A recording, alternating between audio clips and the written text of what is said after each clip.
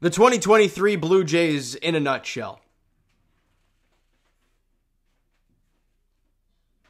Your offense beats up on bad pitching, but the moment they face competent pitchers, they fall asleep. Other than Bo Bichette's double there in extras, the Blue Jays had two hits since the fourth inning. Both were with two out and nobody on. And the Jays lose 7 5 to the Tampa Bay Rays. And now our focus turns to the Seattle Mariners and Texas Rangers game. And, uh, you know, I think, isn't Seattle, is, is Luis Castillo on short rest? Let me just check that. He pitched on the 25th. Uh, I think it might actually be one one day one day short rest for Luis Castillo, and the Rangers are firing out Andrew Heaney.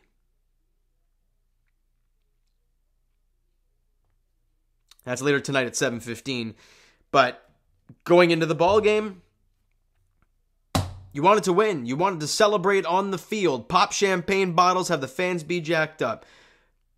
But it's the 2023 Blue Jays. They get you close, they make it stressful, and they hurt you in the worst possible way.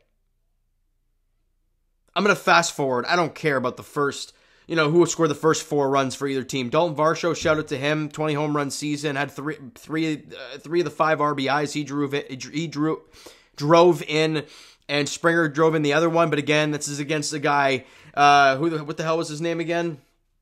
Uh, yeah, what, Corbin, Cooper Criswell, guy who's pitched in AAA basically all season long. Uh, sure, you teed off on him, great, but then you face Andrew Kittredge, Jake Diekman, uh, Robert Stephenson, Pete Fairbanks, and Chris Devenski, and you get absolutely nothing. Sure, the double to Bo, Bo and extras, but the run obviously doesn't count towards Devenski's ERA because it was the ghost runner at second. They shut you down and we will pick. I'll pick it up. Uh, sure, Romano, great job in the eighth inning. Hicks comes out in the ninth, was outstanding. Quick, quick work at the top of the lineup, made them look stupid. Bottom of the ninth, you have a chance, two out. Cavan Biggio at the dish, and he rips a line drive right at the left fielder. Where have we seen this before, right? It's just the story of the season. It really, really is. When you think the team's down and out, they'll give you that small hope and then rip a ball right at somebody and it is what it is. So we go to the top of the 10th where it all occurred. So they obviously have a guy at second base, and Jonathan Aranda hits a fly ball to pretty deep left center field. Kevin Kiermaier makes the play at the wall, a little jump, and uh, and some for some reason the guy at second base didn't tag up and go to third. So you're thinking, okay, you got the one out, guy's still at second base, great stuff. They intentionally walk Josh Lowe, makes sense, and then they go to the bench for Raimel Tapia. Former Jay, and as a clear Toronto sports fan, these moments haunt me. Former players coming back to hurt you. We're lucky Reese McGuire doesn't have a brain in his head, or at least didn't for that moment. Because the Red Sox probably could have walked off the Jays, and he could have been a big part of that.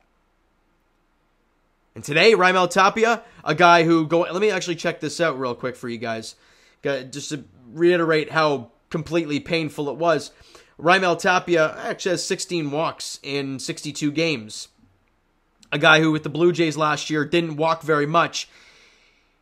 He walk, gets walked by Jordan Hicks with a full count pitch to load the bases with one out. Then they bring Yandy Diaz off the bench, and you're thinking, oh God, Kevin Cash, like, damn you, man. Like, just leave your lineup. Let Yandy Diaz have a full game off. Well, Hicks overpowers him, throws some perfect pitches, strikes him out. You're thinking, holy crap, big moment there. You got two out now.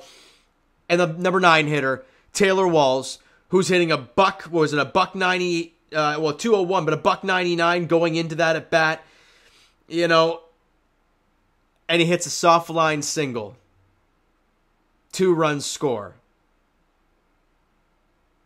and the Rays lead at 6 4. And then an infield single, scoring Raimel Tapia, of course, to make it 7 4.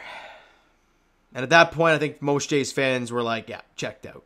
Like, with the way this offense has been and the inability to be clutch, really, other than guys like Danny Jansen, who's not going to be playing unless you make it to the ALCS, which, yeah, that's, that's all I got to say about that. Um, Bo Bichette, you know, Vladdy, God, it was a horrific afternoon for Vladdy. It's just an awful, awful afternoon. Gets crossed up twice by Cooper Criswell. Like, how many Ks did Criswell have in this ball game today? Three. Two of them were Vladdy. One flailing at a bad pitch way out of the zone, and then taking a slider down and in, which, if he had a feeling it was coming, could have turned on that thing and crushed it, but he strikes out looking.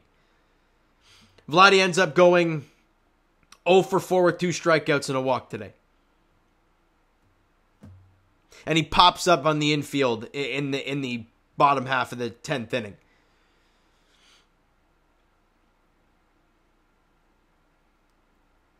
If Seattle wins tonight, you got to pitch Gausman tomorrow. Which sucks. Because you really didn't want to do that. And now the Jays can't celebrate, and they won't be celebrating till later. In the sense, they probably won't be celebrating till tomorrow, if they even make it at this point. I know it's start the doubt is starting to creep in now. Because with Texas throwing out Andrew Heaney, and then, and Seattle's got Luis Castillo on the hill, doesn't look good. It really doesn't look good. And tomorrow, who do they have going in that game? At least as of right now. Uh, does uh, George Kirby is going to be going for Seattle. They have their best two guys going in the final two games. And for the Toronto Blue Jays, we all the whole talk, you know, leading up to this, the final two or three weeks is like we all said. You can go back to my videos. I didn't want this last series to mean anything. I really didn't want the last game to mean anything because you wanted Gausman to go for in game one of the playoffs. But if Seattle wins tonight, you got to use them. And it doesn't guarantee anything. Today was the day you had to lock it down. You didn't do it. Now the doubt is going to start creeping in for Jays fans. And as a Toronto sports fan who have seen collapse after collapse, more in particular these guys here, the vibes are there in my head.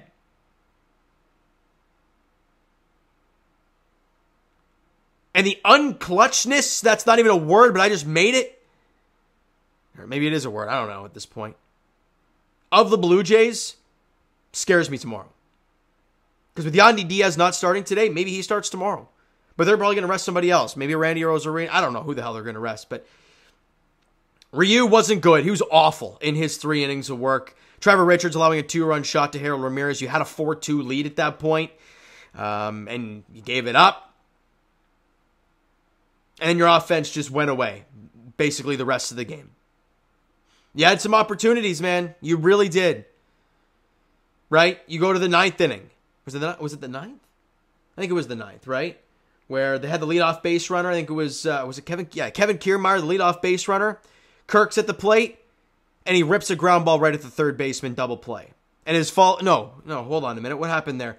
Was it the eighth inning? Yeah, that was the eighth inning against Pete Fairbanks. So who who's the one that did that? That was uh bottom seven, no, bottom eight. Yeah, Bo Bichette walked.